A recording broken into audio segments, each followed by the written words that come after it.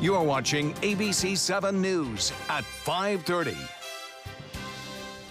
Consolidation may be back on the table for the Venice Fire Department. The department is facing financial issues, and the city could save some money by having the department join Sarasota County.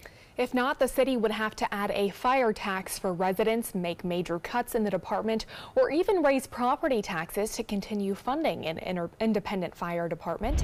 ABC 7's Rebecca Fernandez is live in Venice. Now, Rebecca, how much money are we talking about here?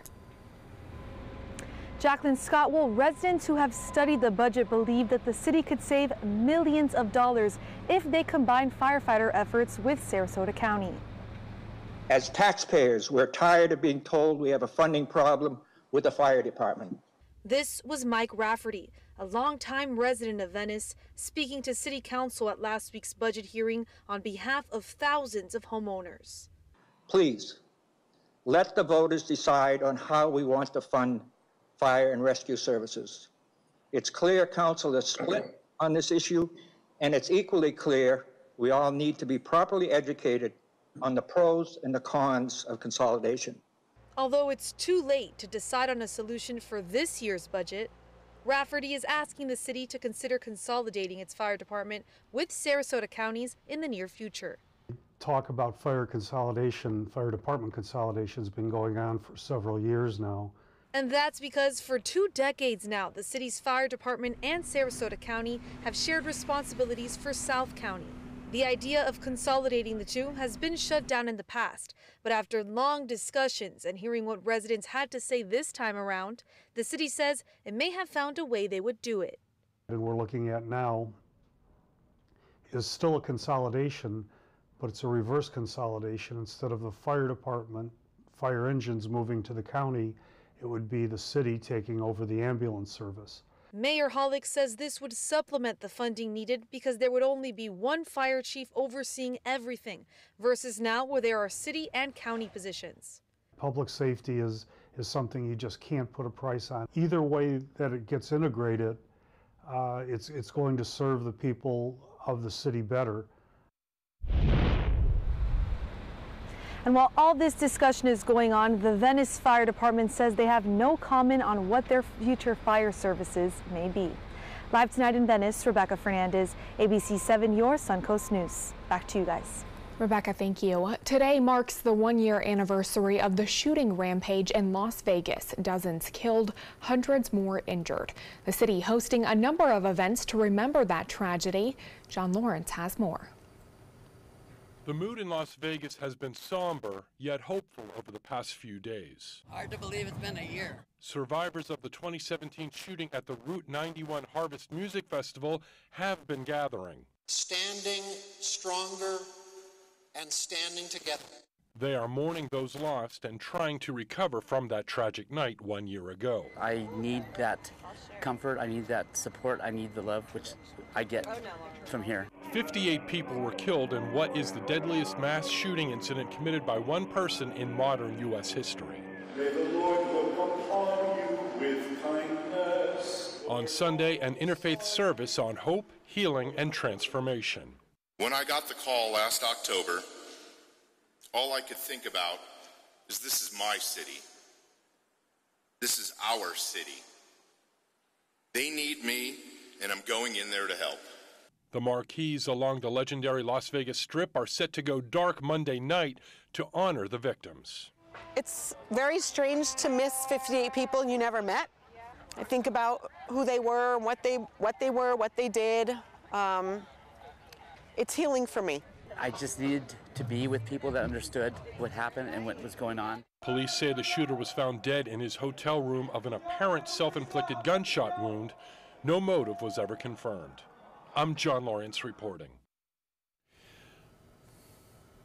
A former star football player at Venice High School has been arrested for a second time for selling cocaine. Sarasota County Sheriff's deputies say on September 21st, Jeremy Trebles Jr. sold three pieces of rock cocaine to an undercover detective for $50. At the time, the 18-year-old was not arrested because deputies were conducting a larger investigation. Six days later, Trebles was taken into custody and charged with sale of cocaine, violation of probation, and driving while on a suspended license. Trebles was first arrested on charges of selling cocaine back in January. Authorities say a man who forced a Florida emergency room to go on lockdown this after this morning is dead. According to Orlando police, an ambulance carried a 35-year-old man to Orlando Regional Medical Center this morning. They say that man claimed to have a gun and told police that he was a suspect in a homicide. Police report the man made a move during negotiations and officers responded by opening fire. The suspect was shot and killed. Investigators now say it looks like that man did not have a gun all during the, the negotiation, he was making movements consistent with uh, having a firearm and at times becoming aggressive, and then at some point uh, made moves very consistent with retrieving a firearm from within his waistband. Three officers were involved in that shooting and have since been put on paid administrative leave. The Florida Department of Law Enforcement is investigating that shooting. Let's change gears now and uh, check on our warm weather here on the Sun Coast again today on October 1st. Here's Chief Meteorologist Bob Harrigan. Bob. Well, the temperature right now 89 degrees and the heat index at 97. That's right, 97 here on the 1st of October. Winds out of the north northeast at 9. Good afternoon, everyone. We have a few showers around right now that are moving pretty quickly off to the west. They've been popping up here and there. That's due to the heat of the day. There's not much setup in terms of a sea breeze, so it looks as though uh, these showers will uh, pop up and then move off quickly into the Gulf of Mexico. Uh, when the sea breeze is around, obviously it stops everything and then the two converge and the storms get a little bit more intense in terms of generating lightning and heavy rainfall. Uh, but we've seen a few brief showers near Northport and stretching off toward Englewood, pushing off uh, toward the west at 10 to 15. So expect a brief shower here and there. Scattered about through this evening. As I mentioned, nothing too intense, it doesn't appear at this point. Uh, tomorrow, a little bit better chance to see a little bit more storms around, but I still think that sea breeze is going to have a hard time getting going in the afternoon. Uh, it may get pinned right near the coast tomorrow, which would give us a little bit better chance for a few stronger cells, but for the time being, expect a few brief showers. This little trough of low pressure, if you will, continues to drift off toward the uh, southwest, and on top of that, a little bit more moisture will come into play tomorrow. That'll quickly move out, though, by uh, Wednesday. and things will be back to uh, not many storms around, and then Thursday it comes back again as some more moisture moves into the picture. Well, way out there in the Atlantic, we still have Leslie still spinning around, heading to the south right now. And in the uh, old system that we saw last week, Kirk has been beat up by a lot of strong upper level winds. Still, though, there's a lot of deep convection down there. We'll keep an eye on it for you. This becomes a favorite area for development here in October, so we'll watch it closely. Back to you. All right, Bob, thank you. Investigators say an autopsy has confirmed the body found in a North Carolina creek last week is a missing six-year-old boy. The remains of Maddox Ritch were found last Thursday in a creek the boy was reported missing six days earlier. Gastonia authorities say he was last seen on a walk with his father and another adult. His disappearance led to a search of the park and surrounding areas. His funeral is now set for Friday. The FBI continues to investigate. The FBI investigation into accusations against Brett Kavanaugh is officially underway, while lawyers for Christine Blasey Ford say so far agents have not spoken to her. The FBI has talked with Kavanaugh's second accuser. Investigators do not plan to interview Kavanaugh's classmates who contradict his testimony about his drinking. Relevant given that there clearly was drinking going on, at least it's alleged uh, at the party? No, I think uh, you're trying to portray him as a stumbling, bumbling drunk, gang rapist. Also not being questioned, Julie Swetnick, who claims in a sworn statement she witnessed a drunk Kavanaugh mistreat women at parties in high school. Kavanaugh strongly denies all of these allegations. Soccer star Cristiano Ronaldo is accused of rape. According to a lawsuit filed Friday, a woman claims she was attacked by Ronaldo in 2009. The suit alleges that the soccer star apologized after the assault, saying he was usually a gentleman. The woman says Ronaldo and his associates took advantage of her and made her sign a settlement and a non-disclosure agreement. According to her, she receives $375,000 to keep quiet about the alleged incident. She wants to have the settlement and the agreement now voided. Companies headquartered in California can no longer have all-male corporate boards. A new bill requires all publicly traded firms in that state to have at least one woman on their board of directors by the end of next year. If there are already five directors in a company, two women must be added by the end of 2021. For six or more directors, at least three women are required to be added by 2021. If companies do not follow that new mandate, they will face a penalty. Still to come tonight on your Suncoast News, a highly contagious disease that has more than doubled in newborns in the U.S. in the last five years. And a historic Manhattan department store closing its doors. We'll tell you when you can find some major deals. Reorganizing a space in your home? Save up to 15% on our premium finishes during the California Closets Autumn Upgrade event. Contact us today for a free design consultation. Visit our showroom or online at californiaclosets.com. Blue 32, Blue 32, hut hut. It's the Gettel Gridiron Challenge. The game's on to sell 2,000 vehicles. 12 teams compete for the number one spot. Score a great deal at every Gettel dealership. Buy with zero down. Make no payments for 90 days. Choose from 14 of your favorite brands, all on sale. Who will make it to the end zone? You decide. Rush to a Gettel location near you or visit Gettel.com. Gettel's got it. The Players Center presents the wild Broadway season opener, Annie, Get Your Gun. There's no business like show business.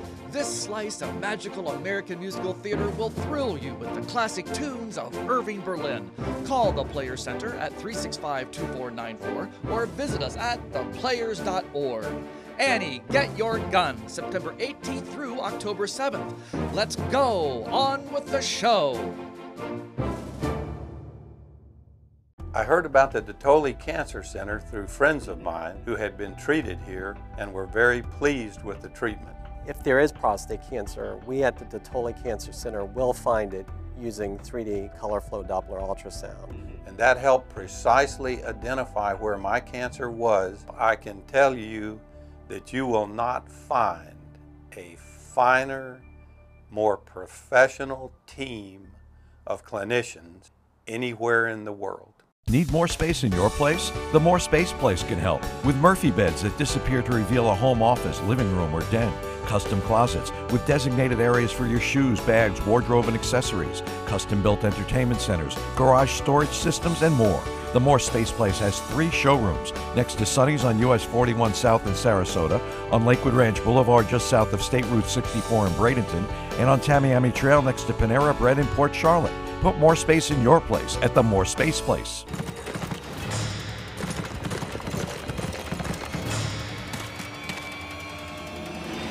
Know your land, know your prey.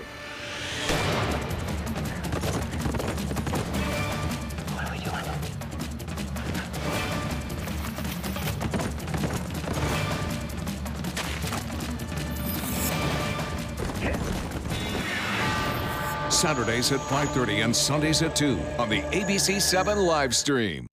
Reorganizing a space in your home? Save up to 15% on our premium finishes during the California Closets Autumn Upgrade event. Contact us today for a free design consultation. Visit our showroom or online at californiaclosets.com. An alarming statistic among babies. The number of newborns with syphilis has reached a 20-year high in the United States. Reed Binion has more. Congenital syphilis is passed on by the mother during pregnancy or delivery. According to the Centers for Disease Control and Prevention, the number of cases more than doubled from 2013 to 2017, when the recorded cases hit 918. The CDC says this even outpaces the national increase of sexually transmitted diseases. Arizona, California, Florida, Louisiana, and Texas accounted for 70% of the newborn syphilis cases. Experts say they aren't surprised by the dramatic increase, since the number of adults diagnosed with syphilis has been rising. Eight out of 10 pregnant women who have untreated syphilis will pass it on in utero. And that's what worries doctors. Left untreated, it could lead to stillbirth, a deadly infection for the infant, and other medical issues. The CDC recommends expectant mothers get screened early on in their pregnancy, then again around 28 weeks and at delivery. Syphilis can be easily treated with penicillin, which is safe for the fetus. For today's Health Minute, I'm Reed Binion. Now, your ABC 7 First Alert Weather Forecast with Chief Meteorologist Bob Harrigan. Time lapse of the Key webcam. Notice the color of the water as we move through time here since uh, just, just before noon today. It looks rather brownish right there and that east wind you can see kind of patchy in areas and then all of a sudden it kind of moves off toward the west there and clears out a little bit. That's the story. We've had this east wind and it may be carrying it offshore but it's still out there and if the winds switch around to a west direction uh, that could pose another problem uh, for inland areas. Obviously, we still have the problem, but uh, could make it worse. Uh, some rainfall here. A little trough of low pressure continues to extend out here into the Atlantic. This is getting closer to us tomorrow, and it will give us a better chance for some showers and storms to be a little bit more widespread tomorrow afternoon and evening. By no stretch of rain out, but uh, we will see a better chance of some activity, I think, in the afternoon and evening. Uh, right now, all that heavy rainfall is to the north of us. We've had a few brief showers here. Uh, one of the benefits of these showers, cooling things down a little bit. Temperatures have uh, cooled in Northport and also near Venice and uh, places uh, where they had a few brief showers near Arcadia, but Arcadia is mainly to the south and east thereof. You can see those uh, brief showers right there moving on through and I had one or two near Parrish, but that's been about it. It's been pretty quiet out there as far as any heavy rainfall goes this afternoon. And way out there in the Atlantic, Leslie's still hanging around and getting better organized as it heads to the south. This storm appears to be headed toward hurricane status. It's looking more organized. You can see some outflow and the banding feature setting up on uh, both sides there and deep convection developing in the middle. The next storm up is Michael, followed by Nadine and Oscar. There's still a chance we could get uh, one or two more storms before the official end of the hurricane season. Long range model European is showing something popping up uh, near Cuba and then heading off toward the Bahamas in about 10 days from now. Too long, uh, to, too far out to worry about at this point, but uh, that same system is expected to move off into the Atlantic and sweep some cooler air away. I've checked the long range models. And that's about it. Uh, that's all we can hope for is that uh, possibility of some cooler weather coming in, not until after, say, October 10th, 11th, uh, the, uh, this month, so a couple weeks from now, basically. 90 in uh, Bradenton, it's 88 in Myakka City, 89 in Northport now. Uh, temperature of Venice coming back up now, 96, that's what it feels like there. 95 in Myakka City, Northport, you're at 96. The Gulf water temperature at 86 degrees. Currently at the airport, it feels like 97, and our high today warmed 3 degrees above average and 3 degrees shy of the record, 91 degrees at the Sarasota Bradenton Airport. And as far as the low goes this morning was 75. That too running high. We should be in the low 70s though by uh, Friday morning and Saturday morning. So the forecast tomorrow calls for another hot day with an east wind and a better chance to see some late day showers and thunderstorms. You'll see a few more around town. Again, not everyone's going to get the rainfall, and it looks as though uh, that pattern will drop back off to dry on Wednesday, back up to uh, moist again on into uh, looks like uh, Thursday. Well, the jet stream is really riding high. We need this uh, to come down to cool us off. That isn't happening, and it's not going to happen anytime soon with basically a ridge of high pressure over the uh, southeast United States. For boaters, winds out of the northeast at 10 knots. Seas will be running two feet. Just a light chop out there. So generally easterly to northeast winds throughout the day with no real uh, sea breeze kicking in. 40% chance for late day storms tomorrow. It drops to 20 on Wednesday. Back up to 50 on Thursday. Friday, football Friday night, looking good again. And then uh, back to a chance for showers and storms continuing on Sunday and Monday of next week. Back to you. All right, Bob, thank you. Let's take a look at your first alert traffic for the drive home. Right now, we are seeing a few backups. The northbound lane of 301 in Bradenton is slow moving. The westbound lane on uh, State Road 64 is also at a complete standstill, which is causing some backup in that area. Scott? General Electric CEO is out after barely a year on the job. GE announcing today Lawrence Culp will replace John Flannery. Culp is credited for leading the turnaround at the industrial manufacturing company Danaher. The change is effective immediately and it comes on the same day the company revealed bleak financial news. GE warning its 2018 profit will fall short because of weaker performance at its power division. Well, it's the end of an era for a Manhattan department store. Lord & Taylor will be closing its doors for good after the holiday season. The century-old store is already starting to say goodbye at its flagship location on Fifth Avenue. The good news is that shoppers can look forward to some major deals. Lord & Taylor launching its store closing sale as soon as this Thursday, and I might have to take a take a quick peek at that and see what kind of deals I can get my hands on. Good excuse to go to New York. There you Perfect go. trip, yeah. Entertainment news is next. Reorganizing a space in your home? Save up to 15% on our premium finishes during the California Closets Autumn Upgrade event. Contact us today for a free design consultation. Visit our showroom or online at californiaclosets.com. The final 2018 Honda SUV clearance is now. During our model year in clearance sale, get Honda SUVs awarded the best SUV brand for 2018 with clearance pricing, payments, and financing. New CRVs on clearance just 259 a month. Pilots with clearance financing, 0.9 for 60 months. This is your last chance for Honda SUVs on clearance this week at your local Honda dealer. A policeman stopped. Yeah, it was the lady parked next to me. I called my wife. My dad got up in the middle of the night. My neighbor helped me out. I called a tow truck. Anyone can jumpstart your car, but for replacing a dead battery and installing it for free, there's no one like Batteries Plus bulbs. I'll install it myself. I'd like you to do it. Visit batteriesplus.com for a store near you. This is an important message for anyone with Medicare. You may be eligible for an all in one Medicare plan that combines hospital, medical, and prescription drug coverage together with extra benefits that may include dental, vision, hearing aids, and much more. Some of these plans have a $0 monthly premium regardless of your income. That's right. For one low plan premium, or in some cases a $0 premium, you may be able to get coverage for your hospital visits, doctor appointments, prescription drugs, routine dental care, eyeglasses and contact lenses, hearing aids, and possibly more. Today may be the first time you've heard about this type of Medicare plan. The advisors at the Medicare.com helpline are licensed insurance agents who will explain more when you call. Call now to see if you qualify. Call the number on your screen now. Call now to see if you qualify for these benefits. You worked hard for your Medicare. Now is the time for your Medicare to work hard for you. Not affiliated with or acting on behalf of any government agency or program. I'm Deshauna Barber. In 2016, I was proud to win the title of Miss USA. What makes me just as proud is my service in the U.S. military. In the service, a soldier gains skills and learns values like discipline and leadership. That makes them an asset to any business that hires them. If you're an employer on behalf of Coalition to Salute America's Heroes, remember to hire smart and bet on a vet. Visit saluteheroes.org or call this number to learn more.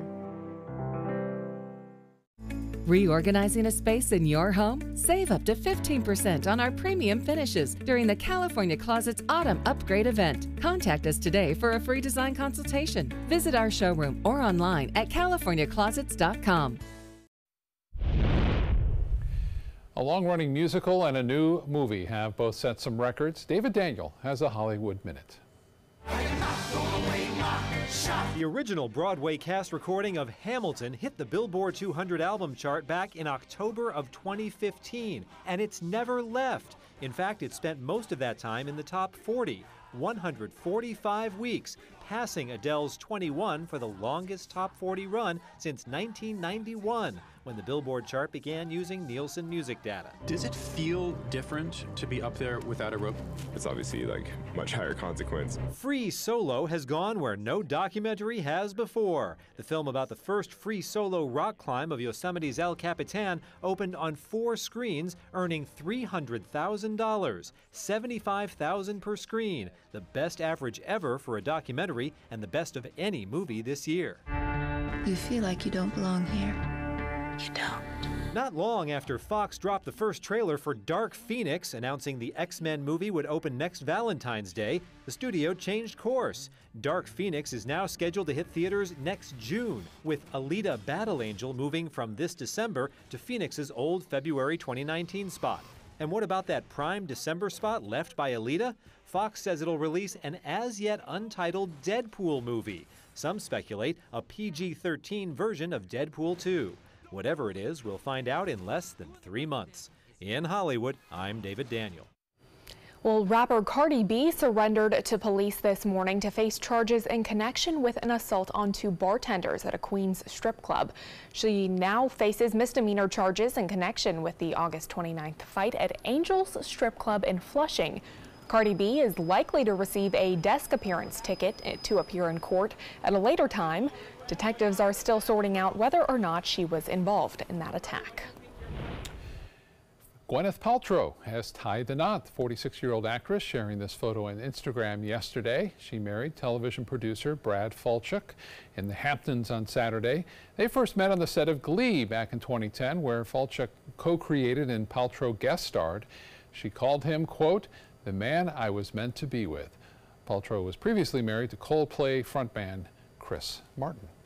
Good for her. Glad to hear that for her. We'll be right back with more news. Stay with us.